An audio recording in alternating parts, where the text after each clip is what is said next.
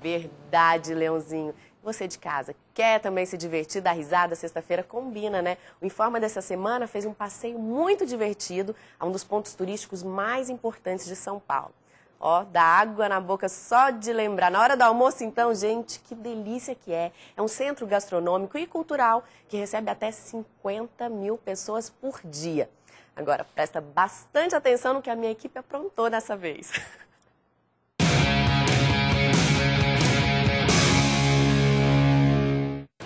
Foi inaugurado em 25 de janeiro de 1933, às margens do rio Tamanduateí.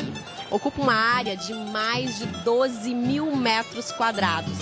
Estou falando do Mercado Municipal Paulistano, esse famoso ponto turístico de São Paulo, o Mercadão. E a gente vai conhecer juntos agora alguns detalhes e curiosidades que compõem quase um século de tradição. Esse bar aqui, essa barraca, por exemplo, está aqui desde 1933 e dizem que tem o melhor sanduíche de mortadela do Brasil. A gente vai lá conferir, vamos? Fiquei sabendo que aqui é o melhor sanduíche de mortadela do mundo, Marcos, é verdade? É verdade. nós vamos um pouquinho de tempo, eu tenho 78 anos aqui no mercado, servindo sempre lanche de mortadela. Qual é o segredo desse sanduíche tão famoso no Brasil inteiro? O lanche de mortadela é pela tradição, pelo paladar. A gente começou ele com um pouquinho recheio. Aí a pessoa começou a gostar, nós começamos a fazer maior. Agora você vai ter que provar o sanduíche que nós fazemos aqui e fizemos especialmente para você, hein? Olha o tamanho, gente.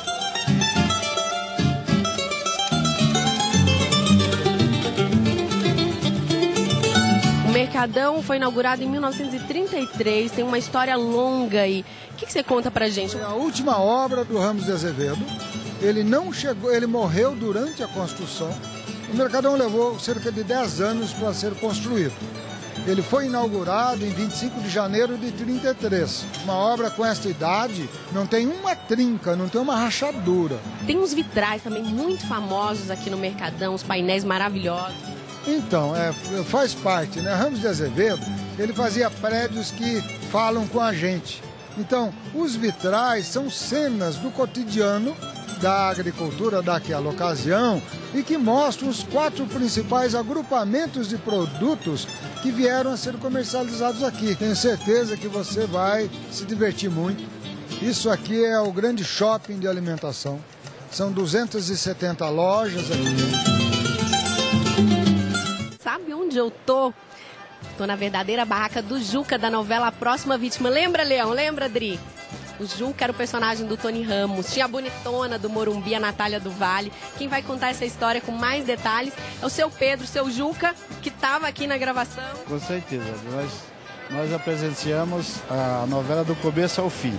Escolheram a nossa banca porque a nossa banca era, na época, mais bonita. Acho que até hoje ainda, né? É realmente um paraíso, uma perdição isso aqui. Temos muitas frutas exóticas e eu vou cortar uns para você provar.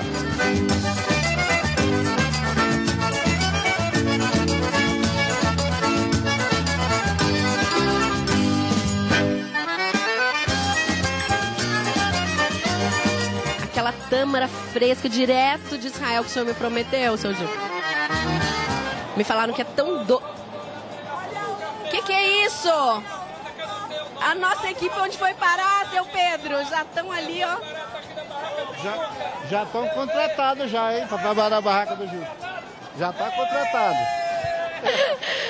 Acho que eu fiquei com a equipe desfalcada. Vou saborear minha tâmara, né, que é melhor.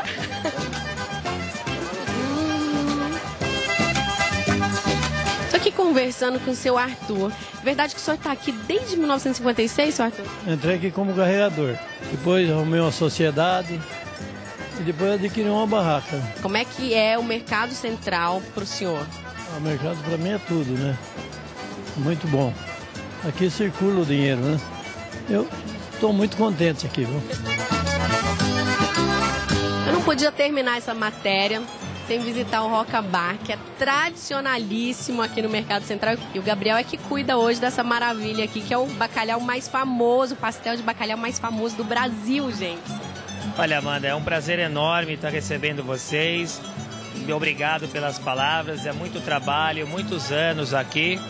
E desde já mandar um beijo para você, Leão, para você, Adriana, que eu estou esperando vocês aqui, toda a equipe com muito carinho e com muito pastel de bacalhau, né? Antigamente era comum as pessoas fazerem a comida em casa e trazerem no seu bar, no seu restaurante, bolos, enfim. Isso eu tô falando década de 40, década, começo da década de 50. E minha mãe, uma excelente cozinheira, Dona Maria, ela fazia os bolinhos de bacalhau e meu pai trazia de bonde. E aí as pessoas já sentiam o cheirinho do bacalhau e ele já vendia e até dava alguns durante o caminho e outros ele comercializava no ponto de venda. E uma coisa também muito legal, Amanda, é que quem consumia muito aqui no mercado eram os carregadores do mercado, porque o mercado era e ainda tem muito o serviço braçal. E aí eles falavam assim: seu Horácio, eu acho que só vou comer isso hoje. Será que você pode caprichar pra gente? E meu pai sabia disso, já mandava fazer o lanche de mortadela bem grande, o bolinho já era maior, e aí com o tempo os pastéis aí. Por isso que a gente tem essa origem de tudo ser meio exagerado, grandão, né? Mas é bom que você come bem. Ela já vai deixar aqui com toda a equipe, já estão segurando o guardanapo aí atrás da câmera. Já vão degustar agora, né? Para deixar todo mundo com água na boca. Mas claro que vocês estão mais que convidados.